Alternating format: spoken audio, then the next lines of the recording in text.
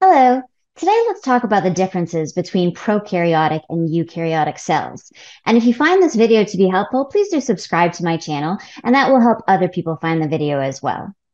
So when we're talking about living things, there are three domains of life, bacteria, archaea, and eukarya. Now remember domains, when we talk about domains, we're talking about this taxonomical classification, right? So domain, kingdom, phylum, class, order, family, genus, species. And domain is the highest level. So everything, all life on earth is included in one of these three domains, bacteria, archaea, or eukarya.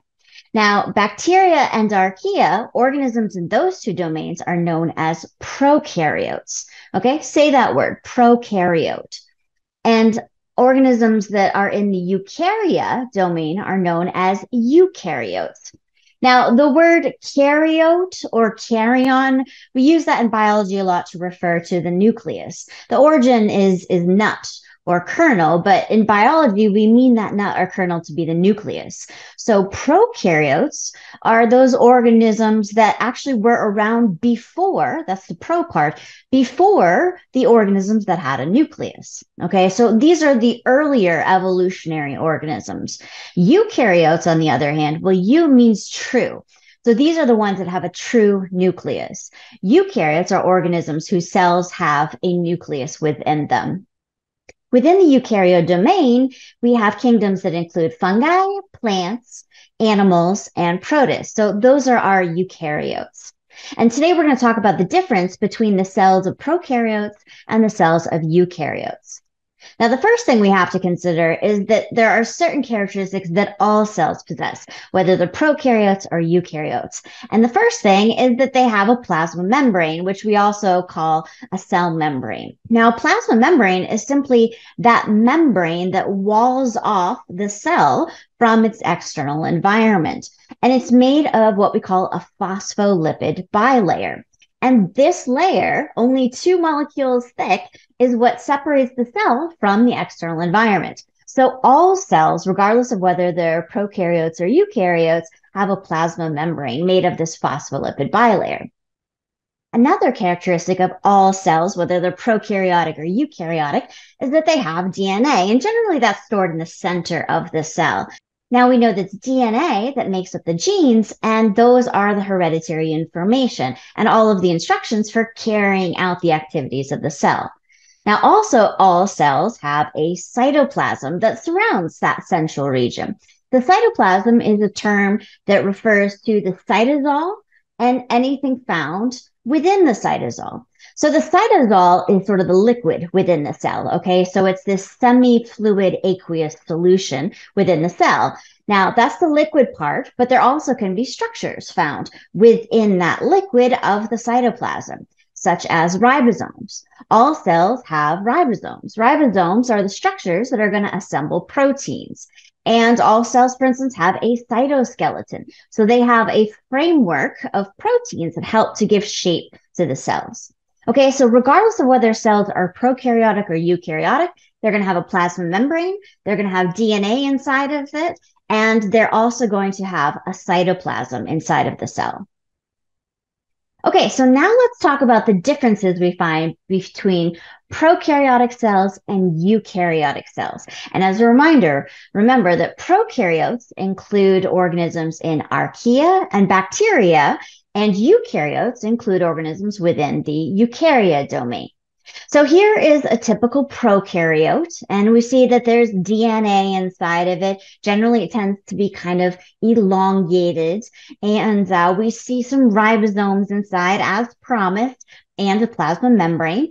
But we can see that prokaryotes also have layers on the outside of the plasma membrane. And often they'll have something called a flagellum, which is a structure that helps propel them so they can move through the environment, and things called uh, pili, or the singular is pilus, that allow them to attach to other cells.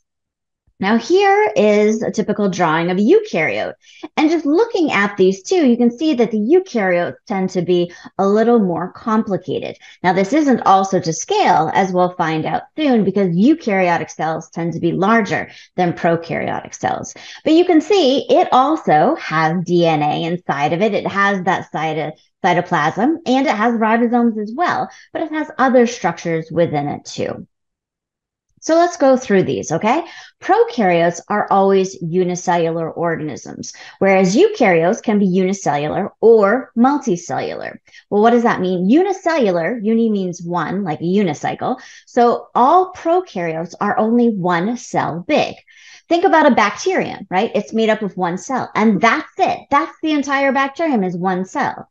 So that is the rule for prokaryotes. Okay. Archaeal cells or bacterial cells are one cell only. On the other hand, eukaryotes can be unicellular, like some protists or al- uh, amoeba, for instance, but eukaryotes can also be multicellular. For example, animals like humans or plants. Uh, so those are multicellular organisms. So that's the difference between prokaryotes and eukaryotes. Another difference, as promised, is the size. So prokaryotes are generally smaller, whereas eukaryotes are generally much larger.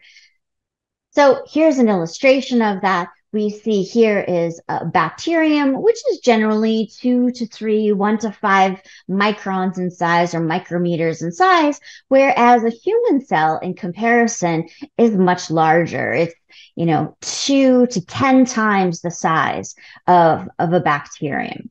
Now, again, we're talking about the standards here. There are always going to be exceptions to the rules. Okay. They're always going to be big prokaryotes or small eukaryotes where maybe they'll overlap in size. But generally, prokaryotes are going to be smaller and eukaryotic cells are going to be much larger.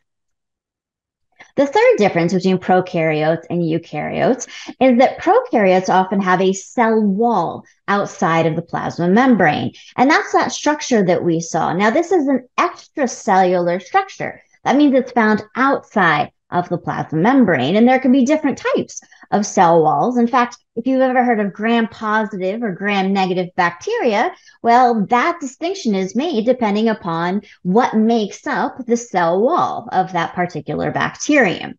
On the other hand, eukaryotes, some of them might have a cell wall. For instance, uh, some fungi or plants have a cell wall, but it's not the same cell wall as prokaryotes. Okay. So prokaryotes, all of them have this cell wall outside of the plasma membrane, whereas only some eukaryotes have a cell wall. And we call it a cell wall, although it is a different structure. It's made up of a different uh, substances.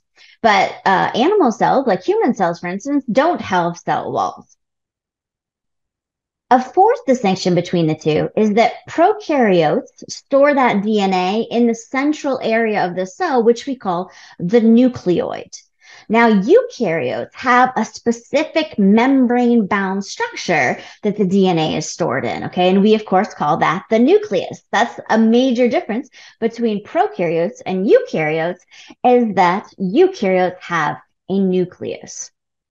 The fifth difference between prokaryotes and eukaryotes, well, both of them contain ribosomes, but eukaryotes have all of these membrane bound organelles. Organelles are like little structures within the cell that carry out specific activities. So we know mitochondria, right? Mitochondria are the powerhouses of the cell. That's where most of the reactions take place to break down glucose and turn it into ATP, energy for the cell. Okay. Or for instance, the Golgi complex helps to package up proteins for shipping them to other areas. So eukaryotes have all of these specific organelles that are bound by membranes. So they're kind of like little compartments within the cell. On the other hand, prokaryotes do not have organelles. They have ribosomes, right? Those ribosomes are going to make proteins, but they don't have these separate little structures. Now, the last thing I want to mention for prokaryotes is that all the reactions, those biochemical reactions within the cell, are going to happen within the cytoplasm or within the plasma membrane. Um, so they still have those reactions, but they generally take place in the cytoplasm or on the plasma membrane. But eukaryotes, because they have all of these different uh, organelles, they'll have a lot of different biochemical reactions that take place in the different organelles. So just like our human body has all of these organs and each organ is responsible for a certain activity, it's kind of the same with these organelles, these little organs within the cell. That in each eukaryotic cell, we have these organelles and specific functions take place within each of those organelles. And that means that the biochemical reactions for that specific function take place in that particular organelle. Okay, so some organelles are going to be responsible for making fats, lipids, for instance. Other organelles, like mitochondria, well, that's where most of the reactions are going to take place to convert uh, glucose into energy. So prokaryotes still have these biochemical reactions, but without organelles, they're going to take place primarily in the cytoplasm or along the plasma membrane of the cell. Okay, to summarize real quick, we have prokaryotes and eukaryotes. Organisms within the domains archaea and bacteria are known as prokaryotes, whereas organisms within the domain eukarya are known as eukaryotes. Prokaryotes are unicellular and they're generally smaller. They have cell walls outside of their plasma membrane, and they have DNA, which is generally in the center of the cell in a region we call the nucleoid. On the other hand, eukaryotes, some of them are unicellular, some of them are multicellular, and eukaryotic cells are generally much larger than prokaryotic cells. Some of them uh, might have a cell wall, like plant cells, for instance, have a cell wall for structure, but it's made up of different constituents than the cell walls of prokaryotes. And it's not a rule that eukaryotic cells have to have a cell wall, okay? Like animal cells, for instance, our cells do not have a cell wall. We also have DNA within eukaryotic cells, and it's stored in this membranous structure called a nucleus. Now, eukaryotic cells and prokaryotic cells both have ribosomes, but eukaryotic cells also have organelles, which are separate little membrane bound structures. And what does that mean? That just means that membranes, just like the membrane of the plasma membrane, wall them off from the rest of the cell to make a separate little structure within the cell. On the other hand, prokaryotes do not have organelles. And because eukaryotes have organelles, a lot of the biochemical reactions that take place within the cell are going to take place within the organelles. On the other hand, prokaryotes don't have organelles, so their biochemical reactions to sustain themselves are going to take place within the cytoplasm or the plasma membrane of the cell.